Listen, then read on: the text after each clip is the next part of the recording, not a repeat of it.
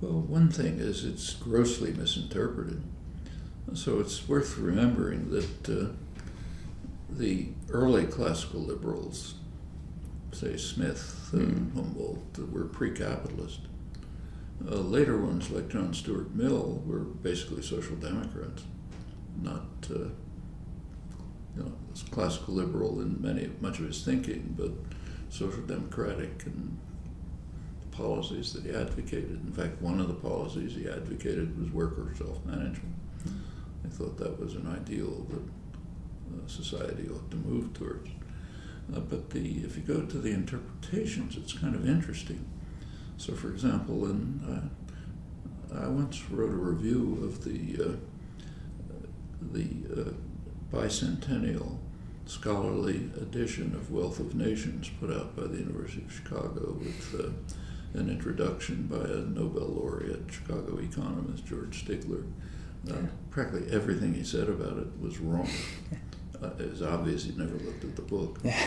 and in fact, it was so extreme that even some of the most important parts were not even in the index. So, for example, take, say, division of labor. Uh, everyone is familiar with the early paragraphs about the butcher and the baker and how wonderful it is and so on. But when Smith continues a couple hundred pages later, he sharply condemns division of labor and says it's a kind of an abomination that any civilized society will have to overcome by government intervention. And the reason is goes right back to the roots of classical liberalism. Uh, the, the reason is that division of labor will turn every human being into a creature as stupid and ignorant as a, a person can possibly be because he'll just be repeating the same actions over and over. Doesn't have a chance to exercise his intelligence and uh, reach his full development and so on. And that's the core of classical liberalism. Well, interestingly, that passage on division of labor isn't even indexed in the scholarly edition. Yeah.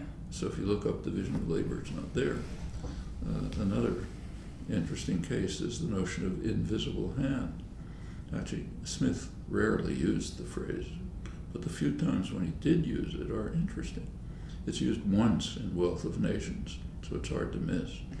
And if you look at the context in which it's used, it's basically a critique of contemporary neoliberalism.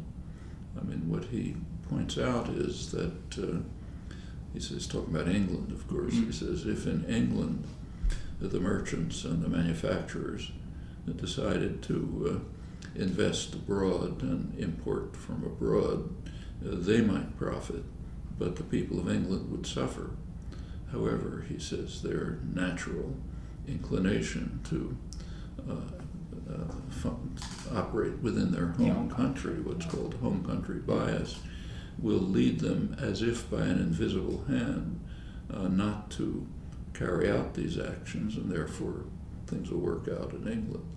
That's an argument against neoliberalism. That's the one use of the phrase invisible hand in Wealth of Nations. He uses it again in his other major book, Moral Sentiments. And what he says there is interesting. He says that uh, uh, he argues that even if you have a a, a, cruel and vicious landlord who takes all the land and so on. Nevertheless, his natural concern for the happiness of other people will lead him as if by an invisible hand to make sure that the necessities of life are distributed as equally as they would be if there was an equal distribution in the first place. That's the second use of invisible hand exact, and of course that's based on his conception shared with David Hume and others that a core element of human nature is sympathy. In fact, the core notion. So for Smith, uh, we have a natural inclination to uh, appreciate and enjoy the happiness of others, even if we don't gain from it at all. And he contrasts that natural instinct with what he calls the vile maxim of the masters of mankind uh, all for ourselves and nothing for anyone else.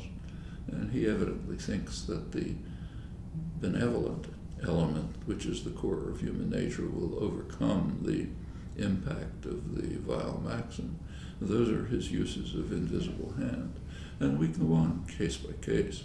Uh, he's, uh, this is pre capitalist thinking. Now, he wasn't entirely pre capitalist by any means.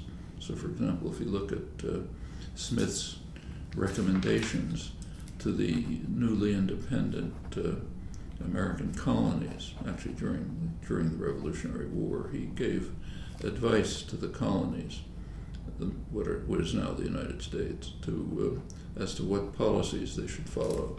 And the policies he advised are what are called sound economics, basically the Washington Consensus, uh, neoclassical economics, just what's told to the third world today.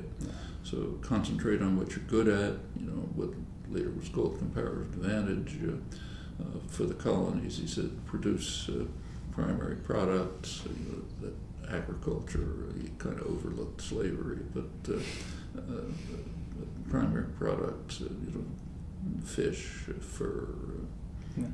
Agricultural products, and don't try to develop industrial products because England is much superior. Mm-hmm. So everyone will gain if you import uh, yeah. advanced industry, industry, you know, by the standards of the day, was advanced industrial projects from England instead of producing your own that will be ben- ben- beneficial to everyone. That's contemporary economics.